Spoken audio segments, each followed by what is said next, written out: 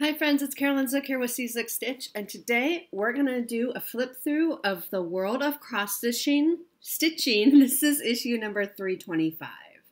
This is another really great issue. Uh, I really do enjoy this magazine. There's a lot of Christmas and winter designs in it that I'm excited to show you. I have flipped through this on my own very, very briefly, but I haven't marked anything.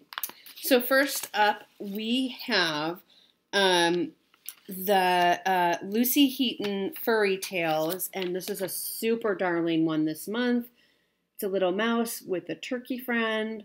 I think it's just so sweet. It is 40 stitches high by 38 wide. This is the freebie. Oh, here it is. Uh, so I get the physical copy. And so with the physical copy, I get the freebie kit that comes with it. But if you get the digital copy, no worries. You will still get the pattern.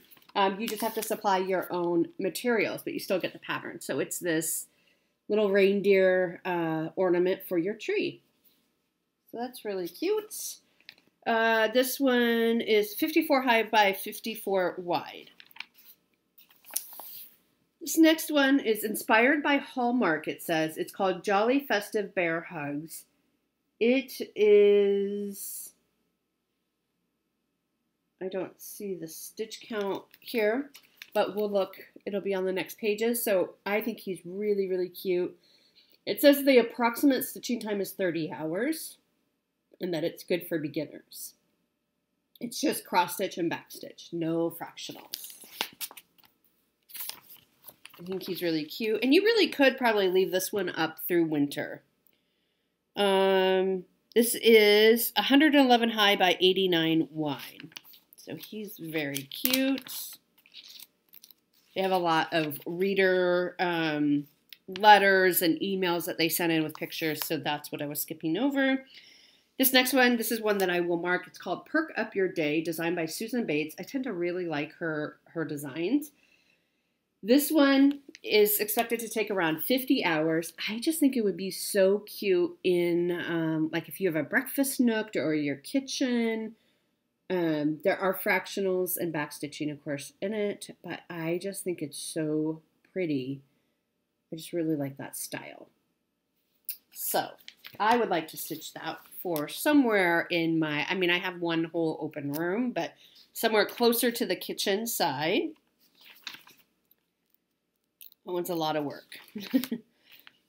this next one is Pet of the Month. Um, they, um, Doreen Jones, wait, make sure. Okay. So people will send in a picture of their animals and she will design just a really small chart of that animal. Um, so this month it's a it's a boxer mix, I think they said. Boxer cross dogs. Um, this one is expected to take about eight hours. It is 43 high by 43 wide. So cute. Next up is designed by Emma Congdon. We have a series of Happy Hanukkah cards. There are five cards in here. So for those who celebrate Hanukkah, or if you know somebody you want to stitch it for them, uh, these are really cute. Really, really cute. Takes about five to seven hours each, and there's just cross stitch and some back stitch in each one. Each one is, or it says maximum stitch count is 45 stitches high by 46 wide, so not too bad. I have to show you this. So somebody wrote in, this is Ask, Ask the Experts, and somebody wrote in, they said, I want a pattern I can make for my best friend who not into cross stitch, but she supports my habit. And so they suggested um, this friendship sampler by Maria Diaz 12 sweet motifs of girls depicting the changing seasons alongside a beautiful quote about friendship. And the design uses whole stitches, back stitch, and French, French knots and is available as a downloadable chart. And it doesn't say where you can get the chart, but if I can find it, I will link it down below. So this is the chart they're they're talking about. Isn't that cute? So it's little girls throughout the seasons. And the quote says, "Through the though the seasons may come and go, our friendship and love will forever flow." So if I can find that download, um, I will put it down below because I just thought that one was extra cute too. All right. Next up, oh yeah, this one is, I'm gonna I'm gonna flag as well because I want to stitch this. This is called Seasons Tweetings, designed by Carol Thornton, and this is what it looks like. Isn't that gorgeous? Expected to take 100 plus hours because it's full coverage. There's cross stitch, fractionals, back stitch, French knots, and beads. This will keep you busy for a while. But I think it's just gorgeous.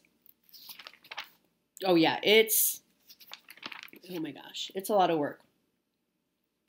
And it calls for, okay, light effects. So there's DMC, the bulk of it is DMC. There are some light effects that's called for. There's some DMC satin that is called for. And they do give you a little bit of how to stitch with satin threads. Um, yeah. So here, let me show you this close up of some of the beads and all that. I have to cover part of the chart here. So you can see, you can see there's some beads in there. It's kind of got this like watercolory feel to it. I really, oh, I really, really like this one. This one is, see the stitch count, 130 high by 160 wide full coverage. Full, full, full coverage. If you want to stitch that one with me, we can figure out a time to start it. That might be a good one to start like next year. Let me know. Um, okay, so this next one is called Festive Traditions, and it is a design library of 42 global ideas of Christmas time in different countries with an international collection by Maria Diaz. And so I can show you some of them because they haven't finished. So there's Kwanzaa, there's Solstice. Um, look at that. I think that's really pretty. This one is hilarious and amazing. Uh, Merry Christmas from Down Under. It's a snowman made out of sand, a sandman, which I love. Um, and you could just change the words if you were like, well, I live in Florida, for example. Um, just say Merry Christmas from Florida or I just think that's so smart. A sand. I've never seen a snowman made out of sand, and I. It just seems so obvious. Oh, here these are like a little bit bigger, so you can get a better idea. Um, I just think that's so smart. That's so smart if you live in a warmer climate. And then, so there's a bunch of these. These are just a small handful. And then the rest um, are just the charts. So there's a bunch. They're just all very very small. Hanukkah, Kwanzaa, Saint uh, Saint Saint Lucia, I think is is what it's called. I mean, they're just uh, God Yule, which is I believe Norwegian. Um, there's an alphabet. There's some gnomes. There's the Krampus. Someday I'll tell you about my Krampus story. Um, next up is Fabi's Masterclass by Fabi Riley, and every month she teaches you a new stitch or a new technique.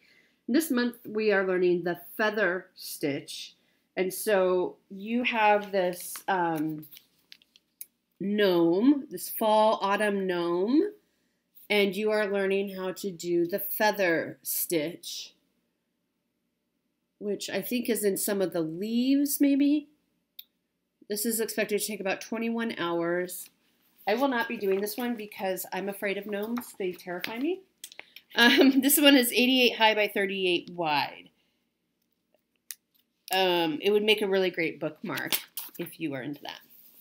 Okay, this next one is by Fiona Baker. It's called Happy Stitchmas, and it's a series of four um, cards, maybe six to ten hours each. And these are black work or color work, I guess. but the skill is black work, so you can kind of get an idea. I think they're really pretty. Look at that snowman. So those are really, really, I mean, I think they're just so beautiful. I just love this magazine. I think it's so great. Um, the maximum stitch count is 65 by 65, so they're quite small. Yeah, so they are card size, 4 and 3 fourths by 4 and 3 fourths. So they are not very big. Um, I think these would be really cute. You could even do all four on one and just frame it as one piece if you wanted to. That would be cute. Okay, this next one, I also really like this one. Uh, it's called W is for Winter, but by Maria Diaz. Um, and its stitching time is approximately 45 hours. There are cross stitches, cross stitch fractionals, back stitch, and French knots. Um, and it says mix and match motifs. So you can mix and match this. So it's kind of like a winter sampler. I think it's just darling. And I like the, the shading, right? They talk about how it has realistic shading in it. And I think it's just beautiful. I'm not sure how I would do it. I don't necessarily want to do it as as it is. I might just pick some of the motifs and do something with the motifs. Um, but I think it's really darling. It is 108 high by 178 wide. All right, this next one is by Doreen Jones. I actually really like this one, except I wouldn't stitch it on black. Um, this takes approximately 65 hours, and it's called How Many Sleeps? And it's like a countdown chart. So how many sleeps until Christmas? And so you do all the numbers, and then you do this chart. Um, I know why they do it on black, right? So the white will show up. I don't know what color I would do it on. I would maybe soften the colors a little bit right? That's more, you know, like a little bit softer. Um, but I think that's really, really pretty. It is 100 stitches high by 144 wide. And that doesn't include all the, the numbers. So you have numbers 0 through 9.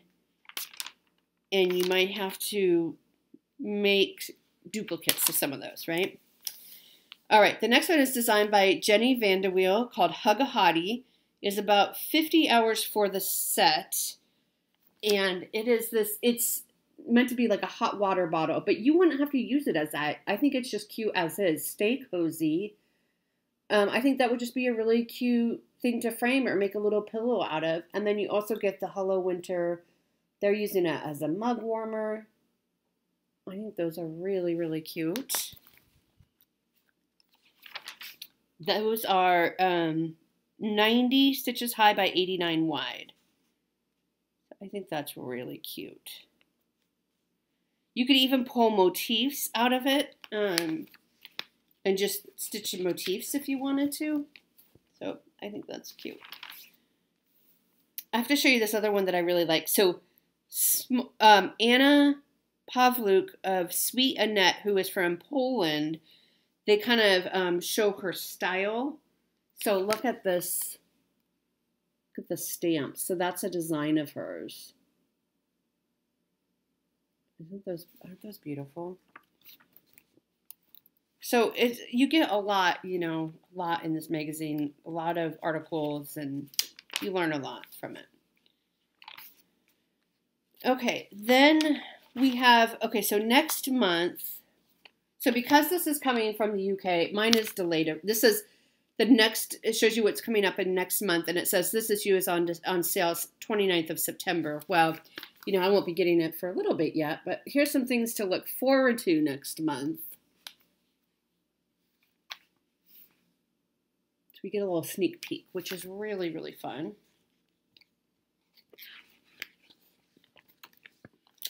And is that everything? We have the how-tos in the back. We have our um, crossword puzzle, and that is everything.